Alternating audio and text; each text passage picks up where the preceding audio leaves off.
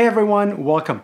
You guys know that if you buy a Trek or Specialized bike today, you're gonna get their in-house tires. In case of Trek, you're getting the Bontrager, and I do have a few videos looking at their XR line of tires. This year I bought a Stumpjumper for my wife, and it did come with the Butcher up front and the Purgatory tire in the back. Finally, the chance for me to take a look at their tires, so let's get to it. Specialized introduced this new rubber compound and casings in 2021 and in case of a purgatory rear butcher front we are usually talking about a trail tire combo and if you look at this table which by the way I don't take any credit for you can see where they stand in their overall tire lineup. All these tires comes with what Specialized calls Gripton compound, which is actually used by Road as well.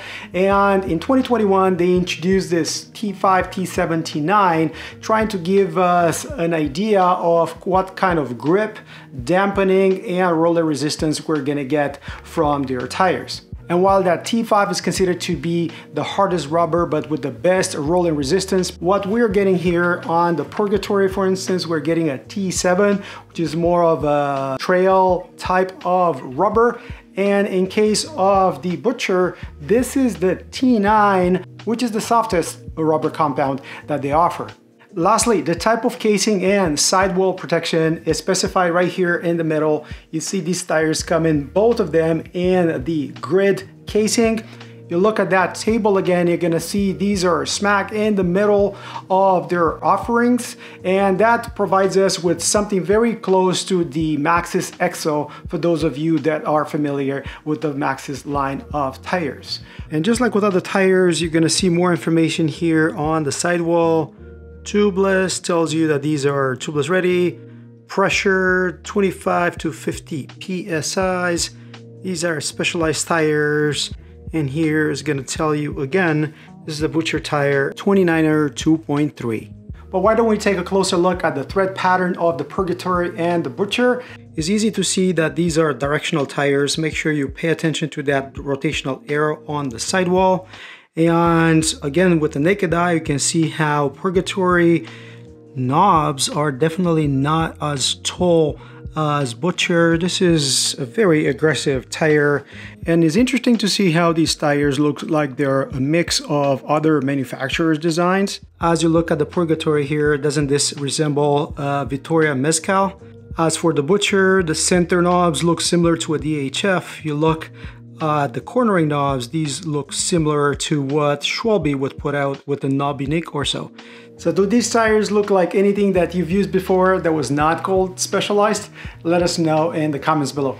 I have these tires inflated at 25 PSIs on these Specialized rims, which are 30 millimeter ID. And these tires inflate to a bit over 59 millimeters. They're supposed to be 58 and if you look carefully you're gonna see how the casing maybe sticks out a tiny bit more in case of the Purgatory. In case of the Butcher, the side knobs are protruding out a tiny bit more. Again, the width of this is no different though. So here it is, uh, 59-ish. Purgatory center knobs are right at three and a bit millimeters. As for the Butcher, this one is probably like a millimeter taller right in the middle. Cornering knobs, the side knobs, here it is at 6.9 millimeters. Man, that's a lot. and Purgatory is at 5.8. So again, only about a millimeter difference Again, this is not super scientific, but you guys get the idea. These rims are 25 millimeter in height. So if I look at the height or the balloon of the tire, 78 minus 25, so that's like 53 millimeter tall here.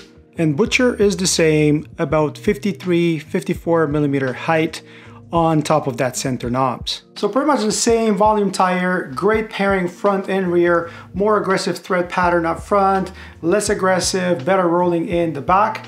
It's a bit crazy how just by hand you can feel the difference between this T9 and T7 when it comes to how soft is the rubber compound. The T9 feels softer by hand one last thing that I want to look at is definitely the weight of these tires. And here's the Butcher trying to balance it on my scale.